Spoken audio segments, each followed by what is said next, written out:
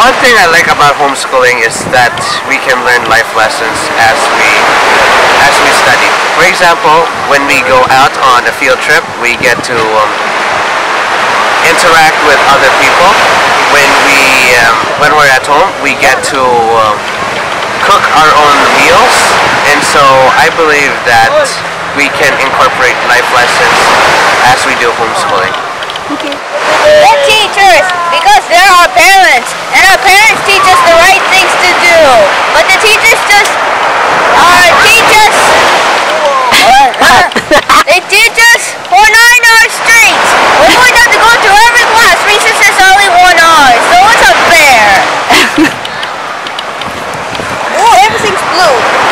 Come on, what else do you love about homeschooling? Then we get to go on vacations. Like Like this? this. Look, I'm an eagle. Freedom. You have the freedom to do what you want. Come on. I have What? the freedom to do anything when I'm done studying.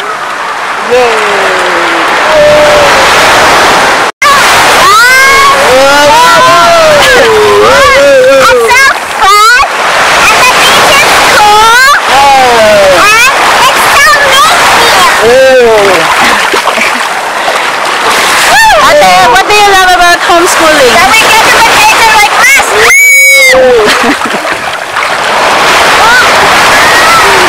What I love about homeschooling, I don't have to teach them.